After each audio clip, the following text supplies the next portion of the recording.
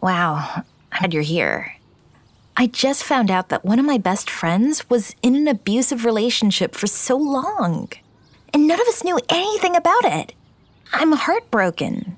I thought we told each other everything. Maybe if I had spoken up, she would have talked to me about it sooner. So, here goes. Intimate partner violence, sometimes called teen dating violence or domestic violence, is a pattern of behaviors used by one partner to maintain power and control over another partner in an intimate relationship. An intimate partner is a person's boyfriend, girlfriend, husband, wife, partner, or lover. Intimate partner violence may include different kinds of abuse. Physical abuse may include hitting, kicking, punching, or other kinds of physical violence. Emotional abuse may not include physical violence, but it can be hmm. equally as harmful. When someone is abused emotionally, they may be called names, humiliated, yelled at, or made to feel intimidated. The abuser may try to control the other person by telling them what to do, what to wear, or where they can and cannot go.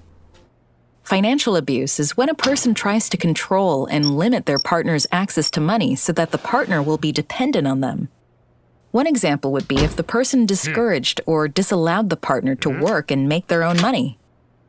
Another is if the person takes the partner's money or credit cards and refuses to give them back.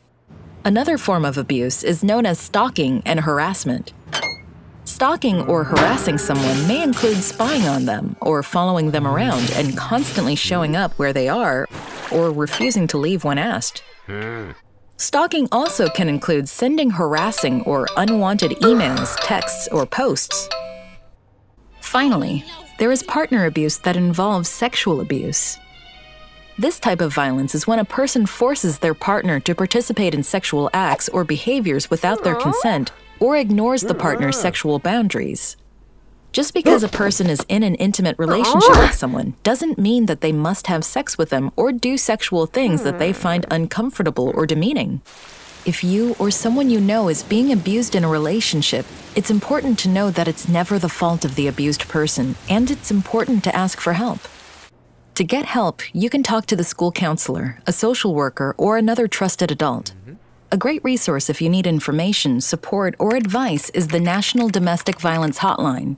You can check out their website at www.thehotline.org or call 1 800 799 7233. Remember, domestic violence is not love. Someone who really loves you wouldn't try to physically harm you, control you, make you feel bad about yourself, or force you to do something that you don't want to do. A loving and healthy relationship is about consent, respect, and honoring who you are as an individual. Time, don't forget to visit me at amaze.org or go to my YouTube channel to watch more. Bye!